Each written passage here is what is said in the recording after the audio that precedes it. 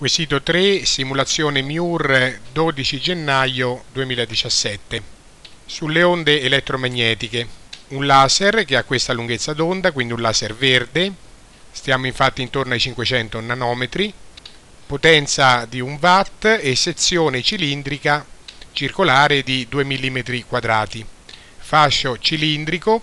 Prima domanda, quanta energia è contenuta in un metro di lunghezza di questo fascio?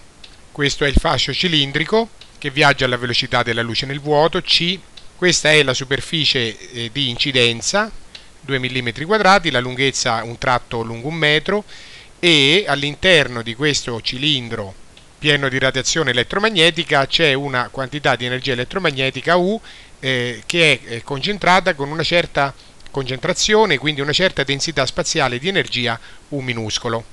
Ricordiamo le formule principali che sono tutte incorniciate.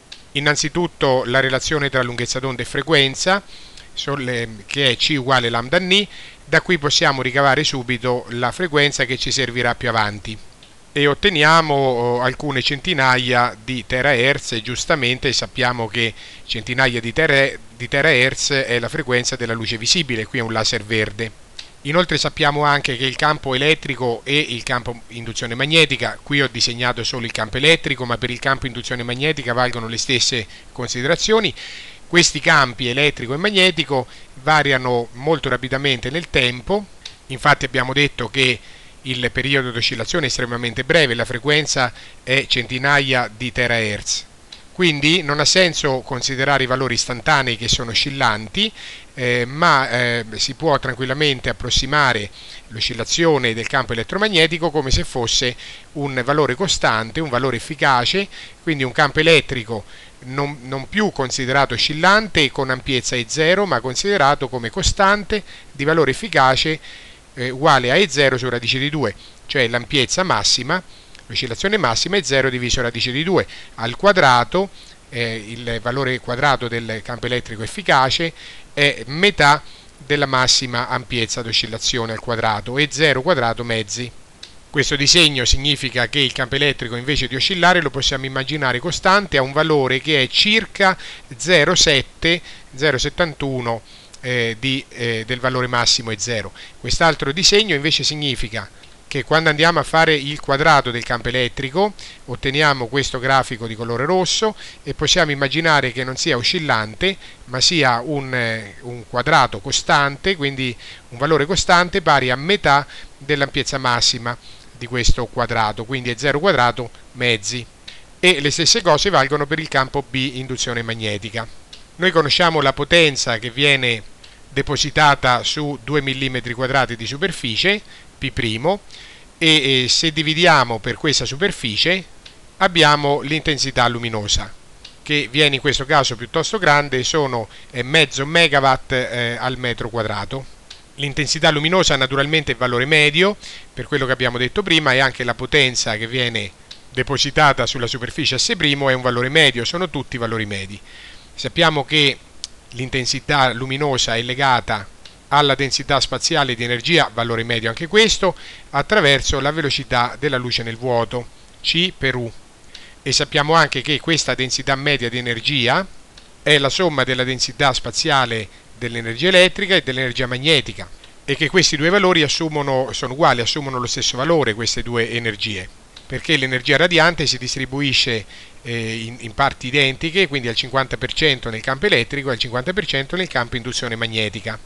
Qui abbiamo le formule della densità spaziale di energia nel campo elettrico e nel campo magnetico. Naturalmente ci vanno i valori efficaci perché abbiamo detto che consideriamo i campi elettrico e magnetico non più come campi oscillanti ma come campi costanti con un valore costante che è eh, il valore efficace.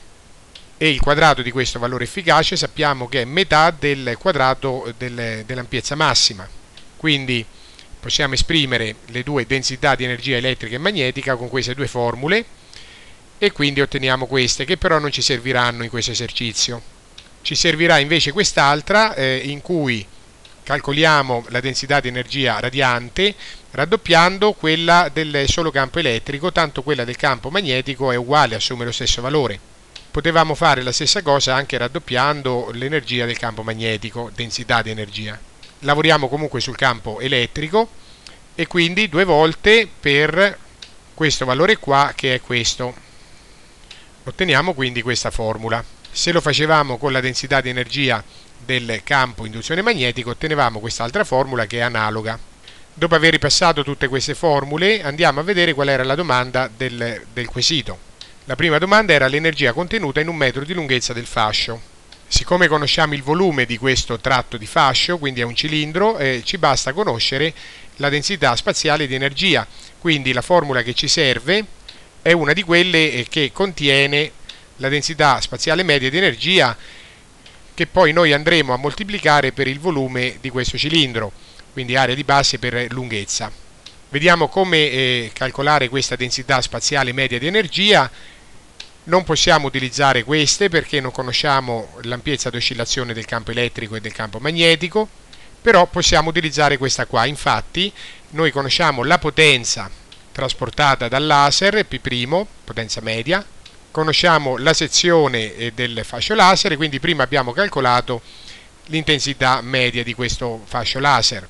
E allora con questa formula adesso possiamo calcolare la densità media di energia. Quindi facciamo la formula inversa, andiamo a sostituire i valori mezzo megawatt al metro quadrato diviso la velocità della luce e troviamo questa densità spaziale di energia radiante. L'unità di misura watt per secondo diviso metro cubo ma watt è joule eh, al secondo, quindi watt secondo fa joule diviso metro cubo. Densità spaziale di energia radiante. L'andiamo a sostituire nella formula che dicevamo prima, insieme al volume di questo tubo cilindrico e otteniamo così tutta l'energia che è distribuita qua dentro. Tutta questa energia è 3,3 periodico nanojoule.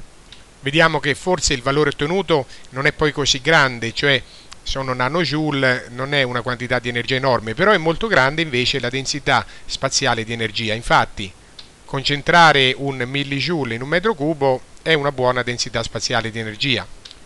Abbiamo quindi risposto alla prima domanda. Quanta energia è contenuta in questo fascio laser lungo un metro? Ora la seconda domanda, il valore massimo del campo elettrico e quello magnetico sarebbero le ampiezze d'oscillazione E0 e B0. Dunque basta invertire queste formule e ricavare E0 in funzione della densità spaziale di energia che già conosciamo e che abbiamo appena calcolato poco fa. Quindi facciamo questa formula inversa, andiamo a sostituire i valori e otteniamo subito un, il valore del, de, dell'ampiezza del campo elettrico, valore piuttosto grande, siamo eh, all'ordine 10 alla quinta newton su coulomb. Vediamo come viene fuori l'unità di misura joule newton fratto metro che sopravvive dopo la semplificazione per coulomb quadrato. Joule è newton metro, il metro si semplifica e rimane eh, newton su coulomb quadrato, quindi newton quadrato diviso coulomb quadrato, eh, newton su coulomb.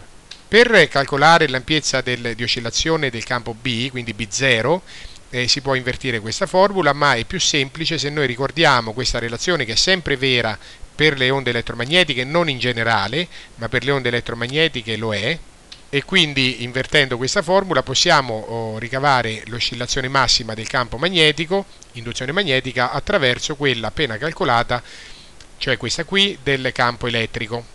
Andiamo quindi a sostituire i valori eh, e troviamo questo valore qua, che viene espresso in Tesla, infatti, newton su coulomb poi moltiplico per l'inverso di quest'altra frazione quindi eh, secondi su metri ma coulomb al secondo è ampere e quindi newton su ampere metro fa tesla. E così abbiamo risposto anche alla seconda domanda quindi la massima ampiezza l'ampiezza di oscillazione del campo elettrico e eh, l'ampiezza di oscillazione del campo induzione magnetica l'ultima domanda è quanti fotoni al secondo vengono emessi dal laser Sappiamo che il laser emette una potenza di un watt, questo vuol dire che ogni secondo emette un joule di energia. Quanta energia al secondo? Un joule al secondo. Possiamo anche ricavarlo, eh, anche se in questo caso è banale, la quantità di energia emessa in un intervallo di tempo delta t è P' per delta t e quindi è un joule. Quindi eh, questo laser emette una quantità di elettroni n, di fotoni, di fotoni n, ciascuno dei quali ha una energia, ciascun fotone HN. Allora, eh, tutti questi n fotoni, ciascuno di energia HN, tutti insieme devono fare un joule di energia ogni secondo. Quindi per sapere il numero di fotoni emessi al secondo basta dividere il joule di energia che viene emesso ogni secondo diviso l'energia di ciascun fotone singolo HNI. HNI me la calcolo qua, costante di Planck, per la frequenza che abbiamo calcolato prima, la frequenza del laser verde, e troviamo che ogni fotone ha questa energia. Allora dividendo il joule di energia complessiva diviso l'energia di ciascun fotone troviamo circa 2,6 per 10 alla 18 fotoni emessi ogni secondo. Abbiamo così risposto anche all'ultima domanda del quesito.